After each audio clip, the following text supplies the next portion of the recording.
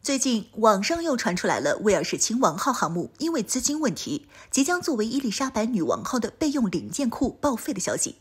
这是一个假消息，但所有人都觉得这个消息是真的。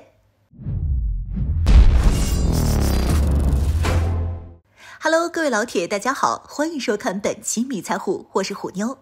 最近，英国方面准备放弃威尔士亲王号航母维修的消息又传出来了。这个消息其实是一个假消息，最早是英国的《太阳报》传出来的。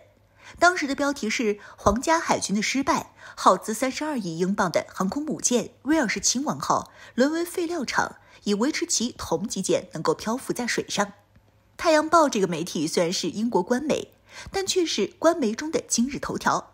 他们起标题就讲究一个真警惕，明明文章是很正经的文章。里面详细写了伊丽莎白女王号和威尔士亲王号两艘航母的维修状态，并且讽刺一下当前英国海军的舰船维护能力。但是人家《太阳报》觉得吧，这么写应该没法吸引眼球，所以就起了一个“维持其同级舰能够漂浮在水上的”标题。说白了，就跟震惊体一个意思。只不过国内媒体在这篇文章的时候只看了标题，没看内容，所以就直接把这件事情当真了。再加上《太阳报》本身就是一个比较权威的媒体，所以到了中国就变成了英国放弃维修威尔士亲王号航母，准备将其作为备用零件给伊丽莎白女王号使用。这个消息看一下就知道到底有多离谱了。许多为航空母舰制造的零件都是定制生产，产量很少且价格昂贵，难以在短时间内获得更换零件。哪怕是同一级别的姊妹舰之间，也有很多不能通用的地方。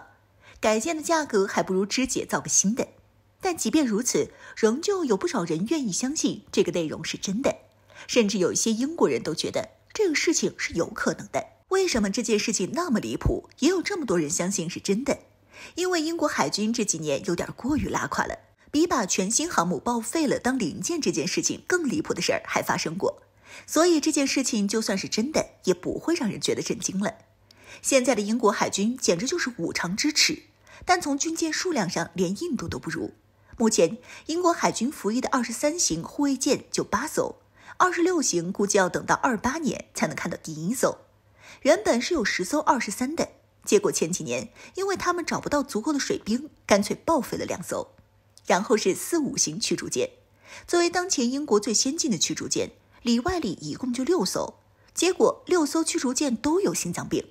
最严重的时候，曾经出现过六艘船集体趴窝，没法移动的情况。那英国人可以改动力泵啊，改当然要改，必须改。然后到现在为止才改完了三艘，平均一艘改一年多，接近两年，剩下三艘还在排队。这么离谱的事情，已经不亚于报废新航母的零件了。现在英国还一天到晚和他的共恶父子嚷嚷要来南海凑热闹，但是船呢？好不容易来了一次，就连航母的舰载机都配不全，最后还是找美国人接的。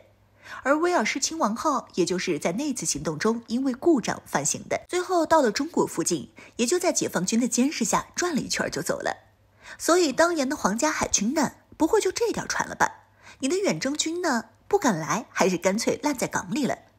去年的时候，他们又来了一次中国。直接派遣了一艘刚改好的二三型护卫舰前来中国南海威慑中国，这让我国方面只有二十多艘零五六护卫舰的海警茫然无措。堂堂海警竟然找不到一艘能和二三型护卫舰对标的舰艇，就连海警都没有这么破的破船。所以这玩意儿就是传说中的大英帝国皇家海军。我觉得相对于英国人的武力挑衅，我国海警更担心这玩意儿开到南海自己沉了。这不就是典型的碰瓷儿吗？前段时间，美国人让英国派遣军舰前往红海协助护航，英国人那个海军上将比护卫舰还多的破海军，有多少老底儿，他们自己能不知道吗？所以这些人满嘴说答应会来，然后等到出发的时候，直接制造了一场撞船事故，把两艘船都给拉回英国，并表示这次不凑巧来不了了。这些离谱的事情哪个出来？都能跟英国准备报废新航母当零件相比了，也难怪，就算这个消息是假新闻，全世界还有那么多人相信。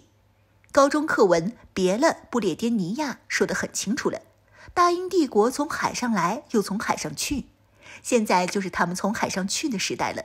但可以不说话，但是又菜又喜欢吹，也就怪不得别人嘲笑你了。